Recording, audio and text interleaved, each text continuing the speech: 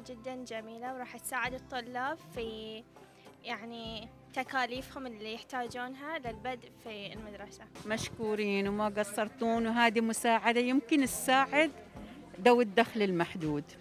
على الأقل شوي يساعدهم بهالغلاء الفاشح اللي صاير صراحة.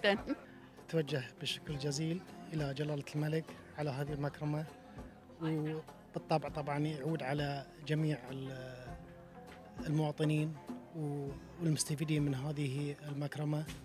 ونسأل الله أن يطيل في عمره إن شاء الله ويمده بالصحة والعافية. آه، بنوجه خالص الشكر لجلالة الملك حفظه الله ورعاه وكذلك لولي العهد وبندعو لهم بكل الخير وجهودهم واضحة في آه، الاهتمام بالطالب البحريني وبالعمليات التعليمية بشكل عام. توجيهات من الملك الله يحفظه. ولي العهد يصرف ال 25 دينار حق عيالنا ويعني الفرحة هذه أتوقع تعم كل العوائل البحرينية وتساعدهم على المصروف الدراسي.